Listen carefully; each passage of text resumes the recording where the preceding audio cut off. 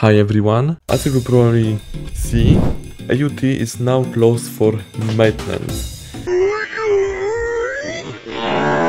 This means that the update is getting imported to the game right now. This will be the Halloween update, which will include the Halloween map, a new Hallow boss, which uh, we could already see in one of the Halloween updates in 2021.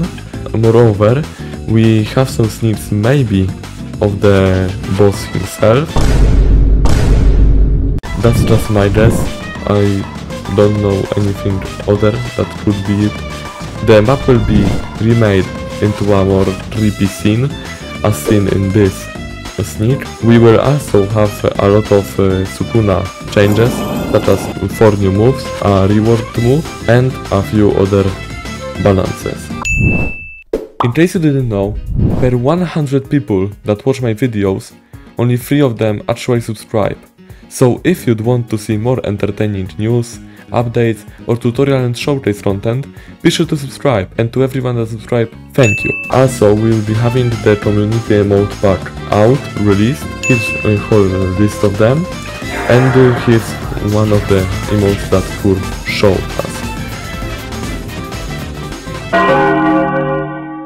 Tusk, D4C and Spin are not coming into this update. They will be given out on the next update, which will be quite close.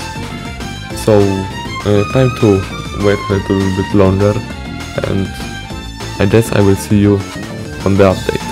Thank you so much for watching and I see you soon. See ya!